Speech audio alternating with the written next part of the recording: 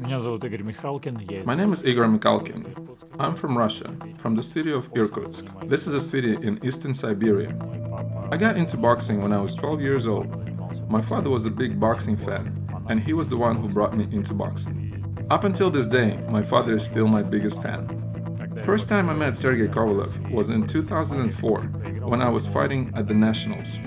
I lost that time, and Sergey came up to me and told me that I was unlucky that I lost. Since then, we've known each other.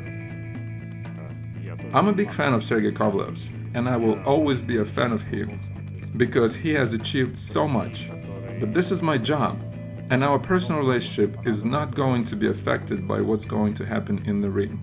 I'm still going to be a big fan of his, and I'm still going to have a good relationship with him after this fight.